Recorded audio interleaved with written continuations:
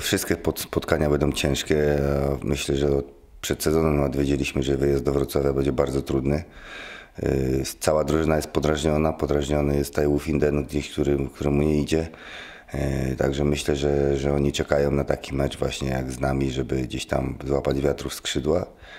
No a my myślę, no też jedziemy po to, żeby w końcu gdzieś, gdzieś te 40 punktów nazbierać i pokazać się z lepszej strony. Jeszcze jest mało jazdy przede wszystkim dla juniorów, bo kilka tych imprez mieliśmy odwołanych i na pewno nie pojeździli tyle, ile bym chciał. E, No ale tak, no seniorzy trochę pojeździli z efektem powiedzmy sobie średnim, także dzisiaj jeszcze tutaj będziemy coś próbować i e, ustawiać tak, żeby było dobrze w piątek. Z Oliver Bergson z Szwecji też dwucyfrówka, gdzieś tam trochę z optymizmem spoglądałeś na, na, na ten jego występ, że też może być jakieś przełamanie? E, On przede wszystkim czekał na tą Ligę Szwedzką, jak rozmawialiśmy, bo, bo tutaj w, widać nawet po jeździe, że gdzieś tam dobrze wychodzi ze startu, czy dobrze rozgrywa pierwszy łuk, a później dużo błędów i, i traci te pozycje. Mam nadzieję, że ta Liga Szwedzka troszkę mu wiatru w żagle doda i że to ciśnienie gdzie z niego zejdzie. Mam nadzieję, że już zejdzie, bo, bo też było, kiedy ich jest dwóch na jedno miejsce, to zawsze jest jakieś tam spinka na treningach i, i później za wszelką cenę pokazać się z dobrej strony chcą i to niekoniecznie wychodzi w dobrą stronę. Teraz myślę, że myślę, mam nadzieję, że przy spokojnej głowie troszkę rozjeździ się w Szwecji, spokoju w Polsce i mam nadzieję, że, że to pójdzie w dobrą stronę. Te pierwsze mecze nie wychodziły same początki spotkań, gdzieś tam no, ustawienia nie do końca tak funkcjonowały.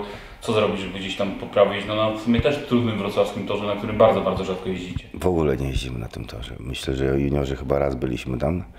Yy, Seniorzy z tego co. No Chris był, jeździł tam co roku. yy, Oli był w zeszłym roku dwa razy na Grand Prix dzień po dniu. My jako juniorzy byliśmy raz, także ten tor jest prawie nam zupełnie nieznany. Ale zobaczymy. No.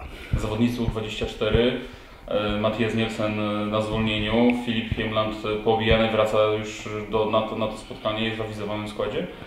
Jest w awizowanym. Yy, mówi, że czuje się dobrze.